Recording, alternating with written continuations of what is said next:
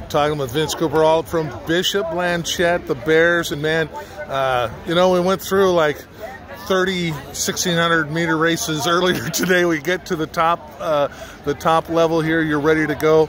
Uh, like you kind of you had it well paced out there. You knew when you were going to make your move, and you pulled away to an easy win.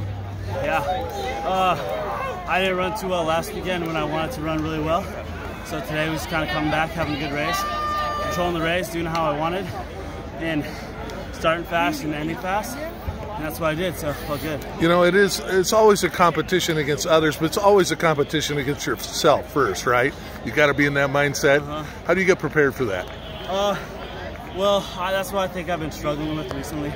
I know I have the form, but mentally been a little bit out of it. So, just trying to know you know the control you can control. And, and, then coming into a, a, you know a situation like this, 69 or 68 other teams, more of a postseason feel for it, and starting to get into that vibe. And you got plenty of time to get to. And this is all about aiming for May, right? Yes. And, and and and putting things in order for that. Exactly. It was good to be out here. Lots of competition. It was good, energetic crowd, so felt good. All right, congratulations, man. Thank you.